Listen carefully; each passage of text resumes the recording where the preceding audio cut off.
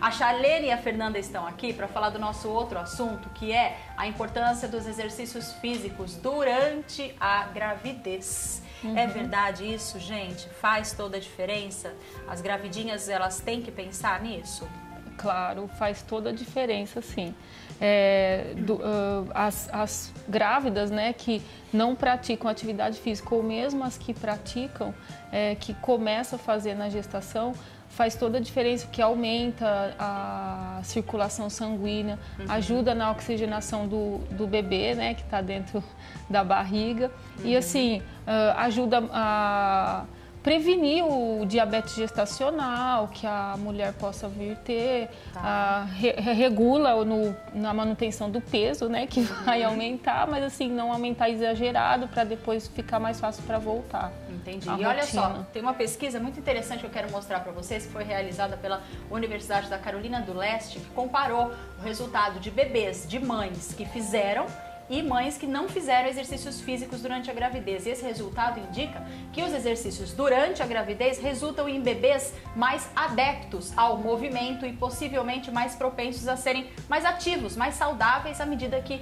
envelhecem, né? Isso é bom demais, né? Por isso que você já está aí fazendo os seus, é isso, Fernanda? É, eu sempre fiz atividade física e eu fiquei grávida e eu não parei. Uhum. Claro que eu consultei o médico para ver se eu podia continuar fazendo atividade física, mas no meu caso não teve nenhuma contraindicação. Você é professora de educação Sou física. Professora eu falei também. que dá moleza. Dá moleza, você já está acostumado, você já gosta Sim. de exercício, né? Gosto, mas até já as ajuda. pessoas que não são da área e praticam atividade física uhum. podem continuar fazendo. Você tá de quantos meses? Sete meses. Sete meses já? Tô. Caramba, tá bem demais! Tá super bem, né? Tá bem demais, Tô que legal. E você não parou, é, ou você mudou o exercício que você fazia? Eu Vamos adaptei. Supor, fazer alguma coisa com muito impacto e deu uma mudadinha. Eu adaptei, fazendo as mesmas coisas com um pouco menos de intensidade, porque o corpo pede isso também. Né? Uhum. A gente tenta continuar com a mesma intensidade, só que não dá conta. É. No meu caso, eu tinha muita queda de pressão, então eu tentava fazer, aí a pressão caía, eu tinha que dar uma sentadinha, respirar fundo para continuar. Uhum mas continuei com exercício menos intenso. Você acha que você com certeza está lendo muito sobre isso, né? Está tendo também muito auxílio do seu médico. É, ajuda até na hora do parto, não é? Com certeza. Você fica mais, mais resistente, mais forte, com uma força abdominal maior? Sim, é a, é a parte fundamental, né? Se a pessoa pretende ter parto normal, ela tem que procurar fazer atividade física. Uhum. Porque sem sedentária vai ser um pouco mais difícil. Uhum. É. Caramba, eu não faço isso. não faço. Exatamente. Gente, gente.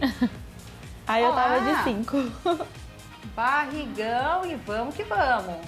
Esses, esses exercícios, eles têm que ser acompanhados por um profissional. No caso, você já é professora. Sim. Mas uma pessoa que não é da área, ela precisa ter um personal junto, ela precisa ter alguém fazer... Olha o peso que você... Você levanta, menina? é, deu reduzir uns 70%. Caraca! Tô falando, eu não faço nem metade mais. disso aí que você faz, não estando grávida. É, na verdade eu adaptei os mesmos exercícios com menos sobrecarga. Uhum. Alguns sem peso também. Então, a pessoa... Olha o agachamento! Meu é, Deus! Já estava acostumada. É, já estava acostumada a fazer. Mas aí a pessoa que quer começar é. a fazer atividade física, ela precisa de um profissional de educação física do lado dela. Certo. Personal trainer ou até mesmo um professor da academia. Mesmo porque Essa a gente sempre fica com monitoramento de frequência cardíaca para ver tá. se não está saindo ali nada e do controle. Aquela fase do, do que eu, de que eu falei que eu tinha que dar uma sentada e respirar, eu tenho uma percepção de, do meu esforço. Eu sei Sim. quanto que tá o meu esforço. Entendi. De 0 a 10 eu tenho que pontuar. Tá. Se passar de 6, eu tenho que dar uma sentadinha, uma, uma respirada. Só que quem não pratica atividade física é interessante que ande com um frequencímetro. Tá. Pra não exceder muito os batimentos cardíacos acima de 140. E fundamental, gente, nós estamos falando disso, né? Que é importante, mas antes de você fazer exercícios, você tem que falar com o seu médico, correto? O médico tem que te liberar para isso. A sua gravidez tem que estar tá, assim, nota 10 você, o bebê, a gravidez, para que você possa fazer. Existem casos que é, que é o contrário, né? A mãe não pode fazer os exercícios, Assim, correto? Quando vem a liberação do médico, a gente está disposto Uhum. a ajudar a fazer os exercícios. Agora, quando o médico diz não, espera, principalmente no primeiro trimestre para esperar e a gente tem que Aí respeitar dá uma o corpo. é. A gente quer deixar isso bem claro pra você que tá gravidinha em casa, não sair feito uma doida aí fazendo exercício sozinha, que pode sim ser prejudicial pro bebê caso tenha alguma complicação aí, às vezes a gente não sabe, né? Mas depois que passou no médico, o melhor é fazer mesmo, aí pra cima, né? fundamental. E o dentinho, vocês estão cuidando do dentinho do jeitinho certo, será? A gente tenta. Acho que sim, né? Tenta, né? Quantas Tenta. vezes escova o dente por dia? Ah, umas seis eu escovo. Seis? Nossa, tá que ótimo. bom, eu não Nossa, eu não escovo nem duas. Cadê? É um lanche escovo, é falar com o Exatamente. aluno. Não é? Tem que estar com. Você também tá, tá Ah, eu escovo de manhã, hora do almoço e à noite. É, eu Já tô também. Acho que pior. Será que esse é o certo? Depois a gente Mas vai falar. aproveitando a Ah. gestação, falando de você, né? Os hormônios estão todos assim, então é muito importante Escovar. Cuidar. escovar, cuidar bem. Olha. Porque você fica mais é, sujeita a inflamações e isso vai pro bebê.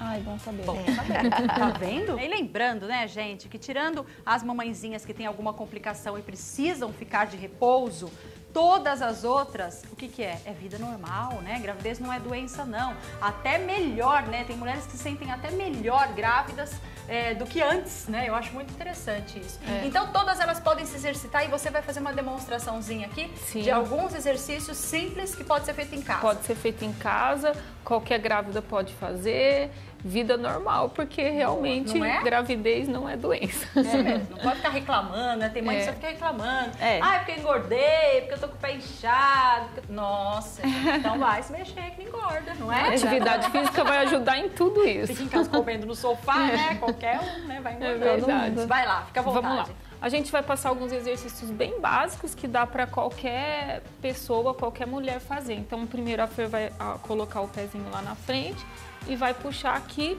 trabalhando bem os membros inferiores e superiores e deixando o abdômen bem contraído. Aí ela pode fazer 10 repetições, 10 movimentos cada lado. Faz cinco, Fernanda. Aí vai trocar Ok. o lado, alongando bem os braços.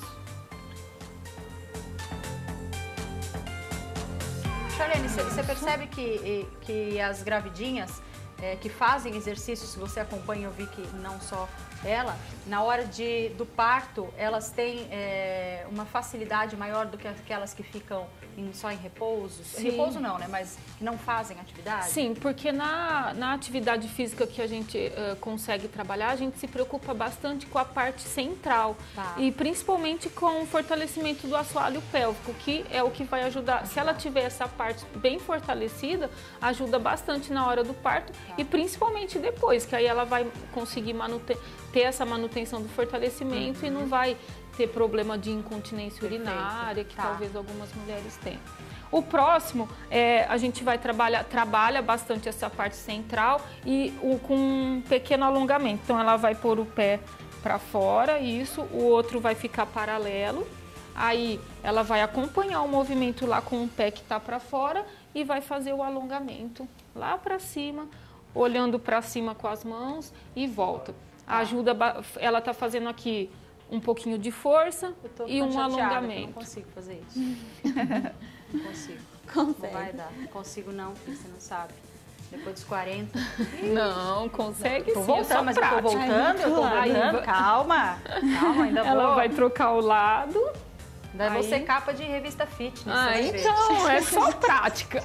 Treina que vai. Fernanda, você não sentiu né, nenhum enjoo, nenhum mal-estar, é, alguma sensação de que estava forçando muito a barriga, assim, em nenhum momento? Por causa do exercício? É, no, durante o exercício? Durante o exercício, não. Só a questão da pressão mesmo, que eu fui controlando no início. Agora já tá tranquilo. Tá.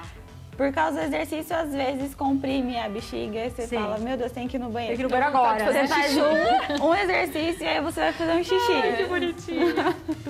Ok, Mas é dois isso. já estão já tão Dois. ok. Aí a Dois gente tá ó, ok, é. pode aproveitar uma cadeira em casa ou o sofá que tiver. A gente pode fazer um agachamentinho para deixar a- os membros Sentar e inferiores, levantar. né? Forte também. Perfeito. Senta, levanta. No caso aqui, Virar os pés fora. pode virar o- os pés para fora para trabalhar essa parte ah, adutora, a parte lá do, do core que eu disse. E aí, no caso aqui, a Fer, que já é treinada, se for as grávidas treinadas, não precisa usar O o, sofá ou o banquinho. Ela Tá. pode fazer normal. É bom talvez sem- para começar, né? Isso, vezes, quem- para sentir Isso. segurança e depois Sim, depois que mão. tiver bem, já que já sabe o movimento, consegue ter um controle bom, aí já pode fazer sem, sem utilizar a cadeira ou sofá Sim. que tiver em E você veja, são três exercícios que você passou até agora que já movimentou bastante, né? Movimentou Quer queira, quer todo. não, É. agachou e já alongou e já mexeu com muita coisa, Muita né? coisa. E é coisa rápida, né? É. E aí, no final, ela pode, a gente pode finalizar com um alongamentinho, ou mesmo em pé, ela pode abrir os pés lá, né? Ah, e fazer lá um agachamentinho, também tá fazendo um fortalecimento lá na Abre parte bem os pés. dos membros inferiores. Tá, Capricha no alongamento. certo. Perfeito, gente. Você falou que você não sentiu nada, a não ser só o controle da pressão, né? Você acha que isso também foi graças ao exercício físico? Talvez se você tivesse. é- É como eu disse, né? Você é uma pessoa que já está acostumada, é da área. Mas pode ajudar, talvez, uma, uma mãe que esteja se sentindo mal, aquele enjoo, aquela coisa chata? O exercício pode ajudar a aliviar, você acha? É que no início da gravidez, cada gravidez é uma gravidez. Tem gente que sente muito enjoo e vomita e não tem como. e aí não tem como tem praticar ajudar, atividade né? física. Aí É. já é aquelas, aquelas é, sintomas de risco que a pessoa Sim. tem que ficar um dar uma trégua no exercício. Tá, assim que ela estiver se sentindo melhor, ela começa a praticar atividade física. É, que é mais o primeiro trimestre, né? Que a Isso. gente tem orientação dos Isso. médicos. Depois desse primeiro trimestre, que a, a mulher tiver bem, Uhum. tudo, é, é vida normal. E com certeza a atividade física ajuda. É, tem casos que a gente fala que a pressão arterial na hora sobe por, porque está se movimentando, mas depois do exercício, de meia hora de exercício, ela começa a baixar. Então, assim, Tá. quem tem já a pressão, uma disposição para ter a pressão alta, Aham. é, o exercício vai ajudar. E quem Vai. tem uma predisposição a ganhar peso, né? Existe algum exercício aeróbico que essa gravidinha possa fazer para ela, como, como se não estivesse grávida, né? Para que esse peso não se acumule além da conta? Sim, a gente utiliza bastante lá os exercícios aeróbicos. O tanto é que nesse artigo, nesse estudo que saiu, eles utilizaram com exercícios aeróbicos. O Tá. que a gente é, diminui ou tira bastante é os exercícios de impacto, Certo. que não é Entendi. legal. Ficar pulando, Ficar né? pulando, Tá. correr, que é, tem um impacto maior dependendo da grávida, não é legal O que, que você faz de aeróbico, Fernanda? que eu faço geral, eu faço aquele transporte Da- na da- academia, Ah, tá. que o Sei, pé vai junto sei, com o braço. Sei. Porque a caminhada ela me dói um pouco o quadril Tá. e eu prefiro fazer os exercícios em si e esse transporte. Mas em relação ao peso, as gestantes têm que ter bastante em mente a questão de- da alimentação junto com o Também. exercício. Junto com Porque nada anda gente? separado. Exato. Na vida da pessoa que não está grávida, a alimentação é importante. Da pessoa que Imagina. está grávida, dobra o cuidado Uhum. da alimentação. Então, se não cuidar da alimentação, mesmo Não que adianta. ela pratique atividade física, ela vai engordar. As Tá. duas coisas andam juntas. Tem que As duas junto. coisas andam Exatamente, juntas. tem que fazer um controle certinho. Vamos falar agora da gravidinha que tá em casa falando, Mira, eu não gosto de fazer exercício físico, eu nunca gostei, eu não sou professora de educação física, eu não tenho uma personal trainer, eu tô sem grana, eu tô gorda, eu tô jogada no sofá. Sabe, né? Aquele jeito, depressivo, aquela coisa ruim que às vezes pode vir, né? O que, que a gente faz para essa pessoa fazer o mínimo de exercício físico que, que ajude ela? Ué, vamos pedir uma dica fácil para ela caminhar, né? Mesmo na- numa praça ou, ou Uhum. no quarteirão de casa mesmo. Que ela tiver disposta para isso, porque aí também eh, não vai ter ninguém para ajudar ela a ferir, né? A, Sim, a pulsação, tudo. Então, Mas assim, se ela uma caminhar e se caminhadinha. sentir bem, tá valendo. Tudo tranquilo, tá? Valendo mais do que ficar no sofá, né? Muito bem, é. Gente, caminhadinha, basiquinha, todo dia? Todos os Quanto dias. tempo, mais ou menos? De 30 a 50 minutos tá, ótimo. Pode tentar fazer as coisas a pé, né? Claro. Vai no mercado comprar uma coisinha, vai a pé. Vai na padaria, vai a pé. Começa a fazer isso, daí não fica com aquela coisa na cabeça, né? Que tenho que caminhar. Vamos lá, vamos pôr a roupa pra caminhar e sair pra caminhar. Não.